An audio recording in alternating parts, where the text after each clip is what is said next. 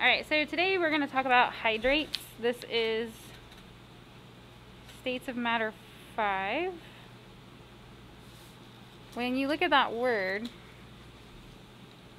what do you think of?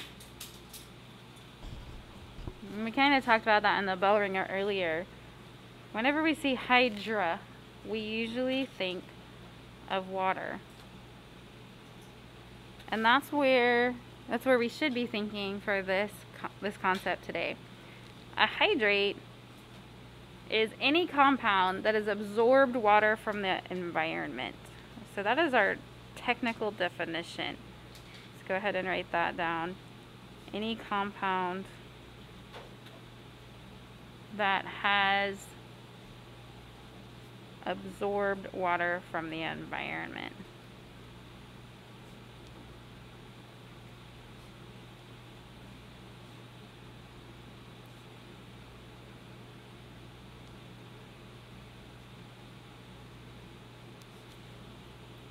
Okay. Now, when we when it absorbs water from the environment, we are not seeing. Let's see if we can get that a little closer.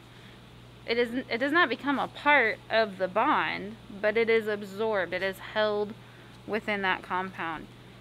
So, if that's the case, can we take the water off of the compound?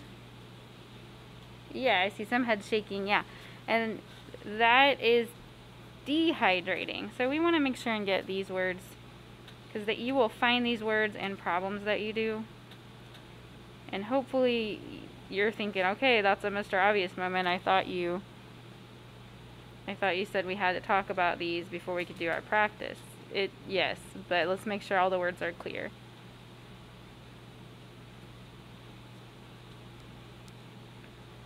So we're taking the water off of our compound um, or heating it. Usually it's heating it. Okay. So a hydrate is any compound that has absorbed water from the environment. When we take that water off, we dehydrate it. So what do we call it after we've taken the water off? It is called an anhydrate. Oops, that's an N. An anhydrate equals after the water is taken off.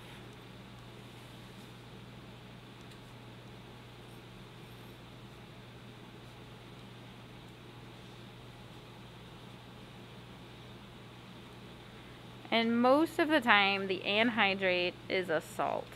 For our purposes, it is a salt or an ionic compound.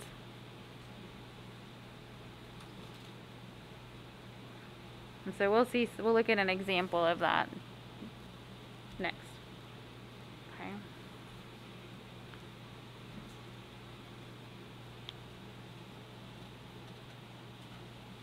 Hmm.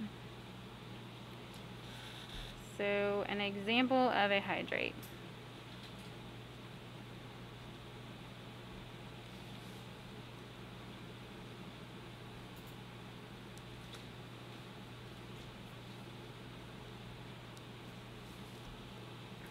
So let's look and see what we got here. We have a couple of things to look at. See this dot right here? Let's make sure that we understand that is not multiplying. We are not multiplying.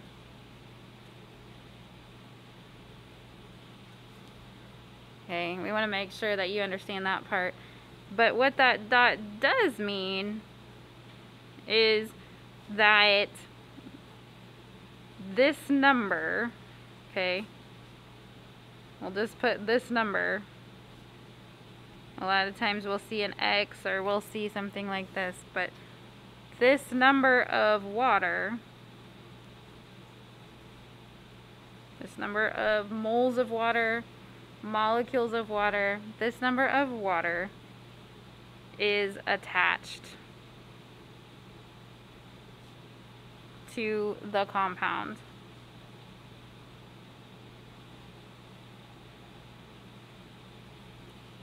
let's get a little further so I can see. So in this case, for every one mole of calcium chloride, there are two moles of water absorbed from the environment. So we're still talking about that mole concept. And that's how we can compare our amounts. We can compare our proportions, just like we talked about earlier with recipes and compounds. For every one mole of calcium chloride, we have two moles of water. Okay. So what do we call this? We know that how to name the salts. So that's the first step when we go to naming the hydrates. So we'll put naming out here so when you go to do some examples, you'll know it's where to look. The first thing is name the salt.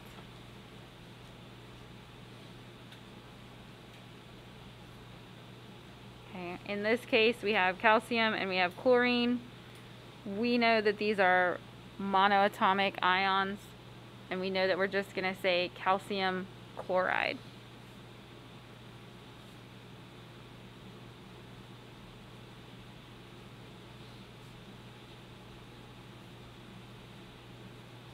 Okay. But then we have this mess over here. What do we say for that? That's the second step. In the second step, we have to find the prefix. Now you guys have used prefixes a lot of times and luckily for us they're very similar. So let's just write them right here. Number of water, of moles of water. We have one. What prefix do you think you're going to have? What have we used in the past? mono, right? Two, what are you going to use? Di.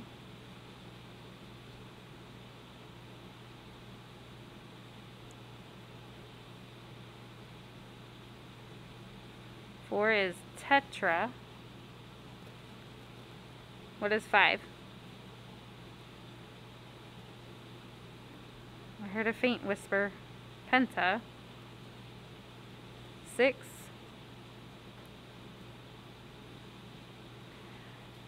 hexa, seven is hepta,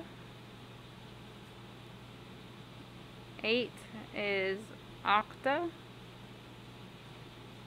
nine, and we'll just keep 10. So these are all prefixes. They're going to go in the front of the word hydrate. Okay, so let's come back to what we had up here as our example.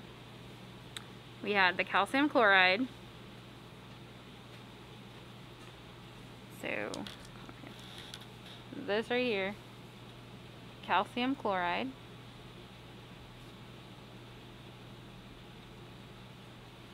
And then how many moles of water do we have? Two.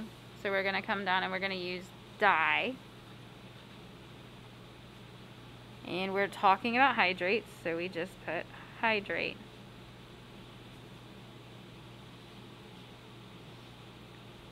So calcium chloride dihydrate. Hydrate. Okay, let's do another example real quick and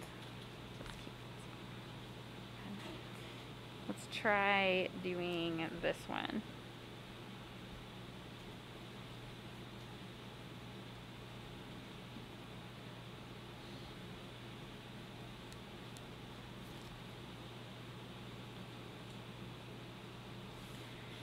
So that salt isn't quite as straightforward because we have a polyatomic anion there. So we might need to pull out one of our cheat sheets,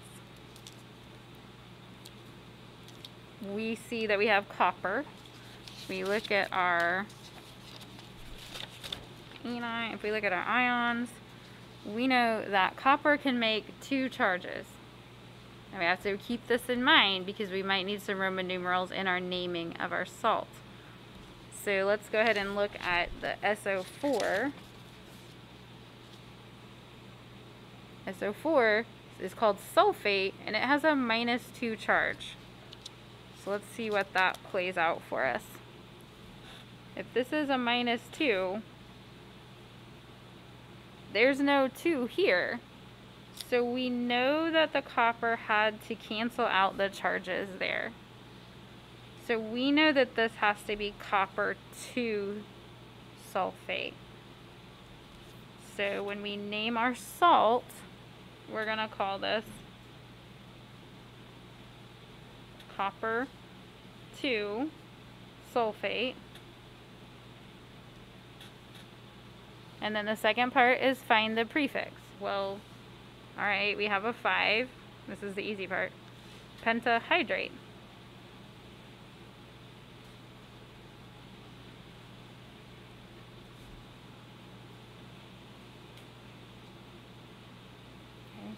So you will be expected to be able to name them from the formula and also take the name and make a formula for that.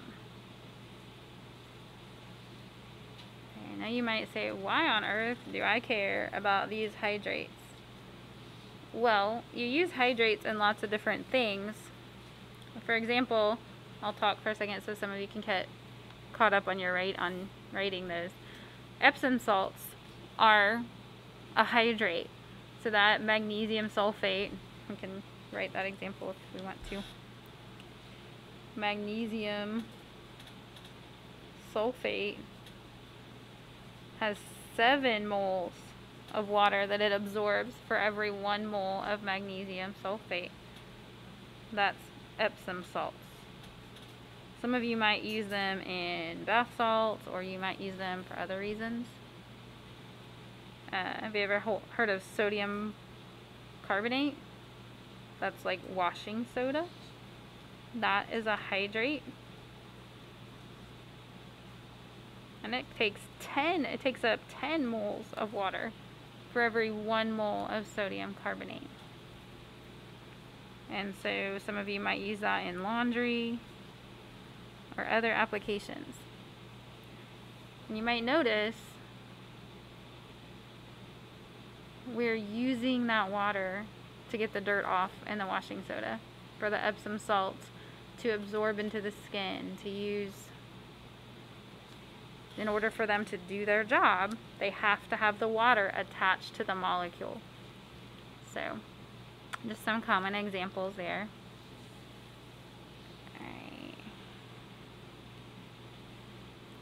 Now, naming is the easy part of what we're gonna have to do with these with these dudes.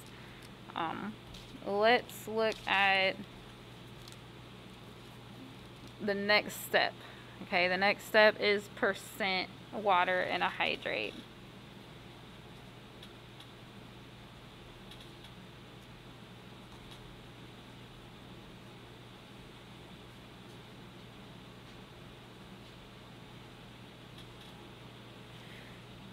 Hopefully at this point you realize that anytime you see the word percent, you should always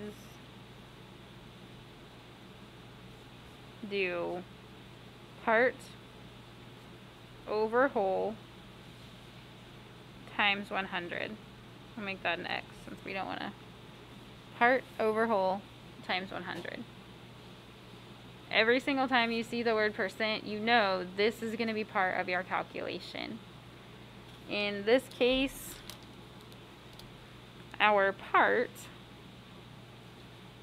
is going to be the mass of water. And I should make that. The mass of water.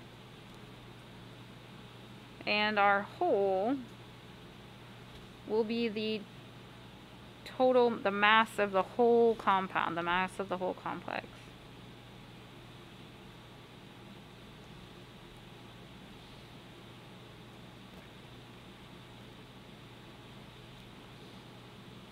Okay. So every time we see percent, we're going to say part over whole times 100. In this case, our part is the mass of water. Our whole is the mass of the entire compound. So let's do, we'll do an example. I see lots of you are still writing, so I'll give you just a second.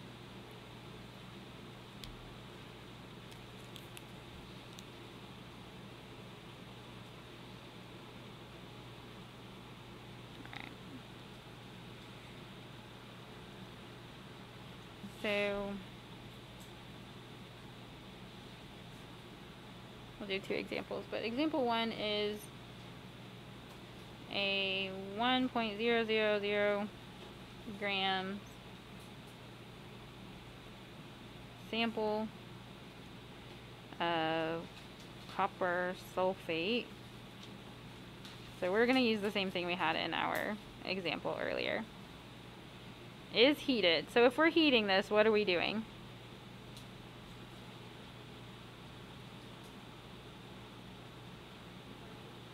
Taking the water off, right? If we go back up to our notes earlier, dehydrating is taking the water off, and we do that when we're heating. So reading these problems, we want to make sure we're using what we've learned from their notes. Um, the remaining salt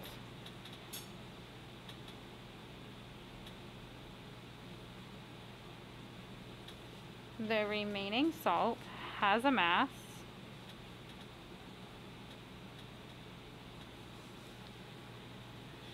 Zero point six three nine zero grams. What percent is the water?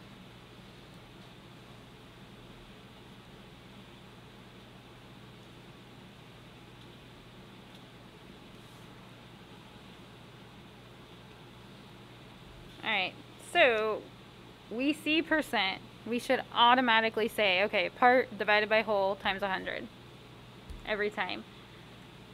And so now we have to say, all right, if this is my, this is my hole, after the salt is heated, there's this left. So this is the salt. This is the mass of salt after heating. I need to find the difference here to get the mass of the water. So your first step, your first step is find the difference because that's the mass of the water.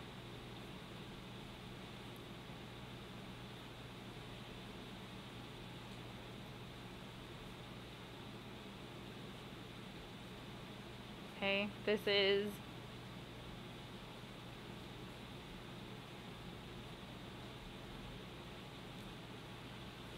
So here's my total. Here's my salt. I'm going to find the difference in those two numbers.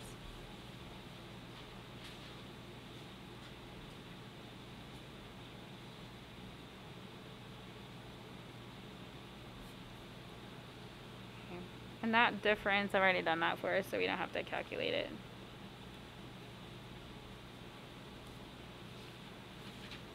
And that is H2O.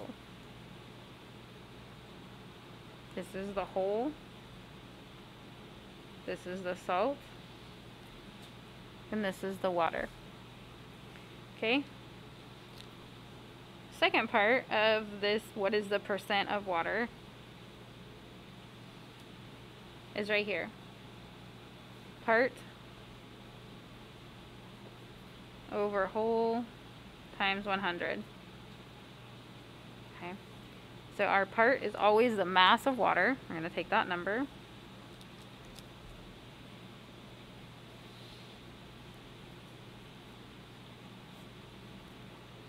Our whole is what we started with, the whole thing.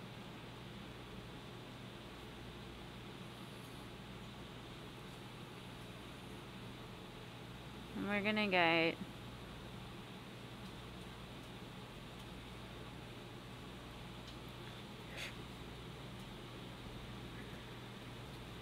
So every time you see percent, you're going to say somewhere in there, there has to be a part over whole times 100. My part is always what I'm being asked about. most of you probably could have done that math before we ever discussed hydrates, but putting it in the context of a chemistry question is where sometimes we get a little freaked out and say, I don't know what I'm doing. But every time you see percent, you're going to use part over whole times 100. Okay.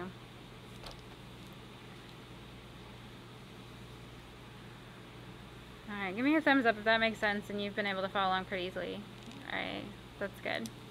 There is another way that you might be asked percent of water in a hydrate, and that's going to be our example 2. In example 2, let's go ahead and flip, I'm going to flip the page and we'll get a fresh sheet.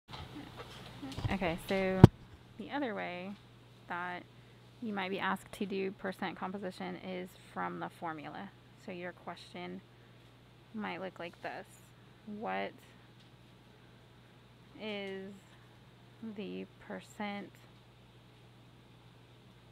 of water in, and then they just give you a formula.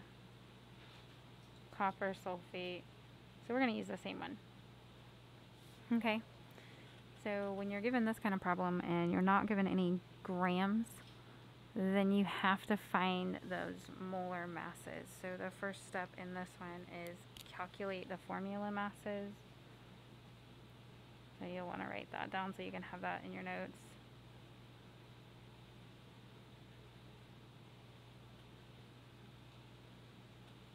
And then the second step is the same thing that we've been doing for anytime you see percent. Part over whole times 100. So let's look at what those formula masses would look like. Um, you start out just like we've done lots of times. You say, okay, what element do I see? Copper, sulfur, oxygen. But then when you get to water, you can do kind of a cheat and just say water because you know all of this is going to stay together. Okay, so then you go to your periodic table and you find, okay, copper is 63.5. I only see one copper, so 1 times 63.5. I see one sulfur, and I say, alright, periodic table, 32.1. And then oxygen, there's four oxygens and there's 16.0 we got that one memorized and then there's 5 water so I'll say 5 times 18.0 then I want to calculate these out. These are easy because it's just times 1 but then 4 times 16 is 64 and 5 times 18 is 90 so then we add them up and we get 5 and 1 is 6, 3, 4, 5, 6, 7, 8, 9. And then we have 9, 10, 11, 12, 13, 14, 15, 16, 17, 18, 19, 20, 21, 22, 23, 24.